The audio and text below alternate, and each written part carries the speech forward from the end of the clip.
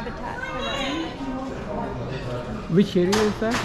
It's called the prairie pothole. It's upper Midwest in the U.S. up into central Canada.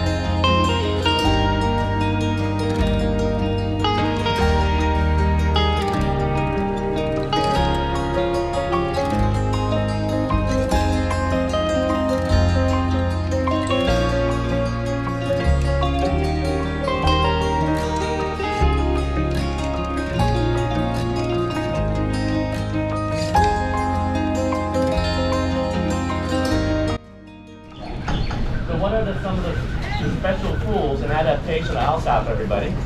What are their superpowers? Vision? Vision? Yeah, they have they have excellent eyesight, right? Let's start with that. Excellent eyesight. I'm gonna walk her close. I can turn to 180 degrees. I'm gonna walk her close so you, so you folks can see.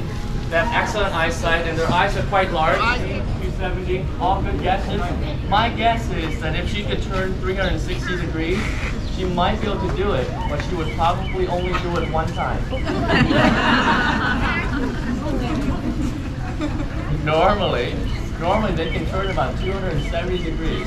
Yeah, that's about three quarters, three quarters of the way around. That's still a lot, right? Anyone know what allows them to do that? How can they turn their head so far like that? Anyone know? Anyone have a Uh, guess? extra long uh, uh, vertebral arteries. The what? Vertebral arteries allowed to cross over. People ar- arteries cross over, yeah. But there's a mechanism that allows them to turn their heads further than us, right? So we can't turn 270 degrees, can we? Maybe once. Anyone know? I'll give you a hint. There's like an extra pair or something. I'll give you a because they don't. Their ears are so large. They don't want bugs or debris and things to fall into their ears, so it helps kind of filter out things. Yeah, but it's quite large. It's very large, but it's a little different. It's quite adaptable in this way. You know how in people, our ears are even on each side of our head, right? When our ears are even, we say that's an attractive quality. For the owls, the more lopsided their ears are, the hotter they think they are. Yeah, because it's supposed to be lopsided, right? Yeah, one's a little bit higher than the other, and one might be even a little bit bigger than the other. What allows them to do then, allows them to receive sound differently. So a sound the mouse makes on the ground over here will be received by the right ear slightly differently than the left ear.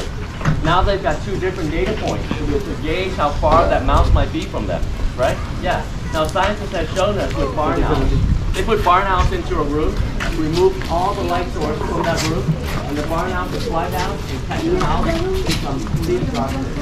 Isn't that incredible? Think about that. Isn't that